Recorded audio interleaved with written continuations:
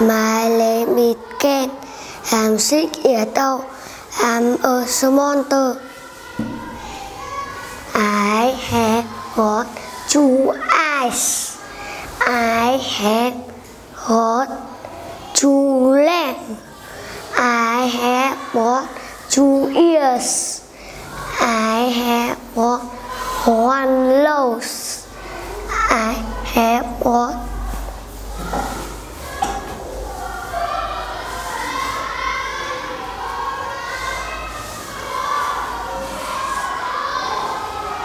I have got nine teeth. I'm purple.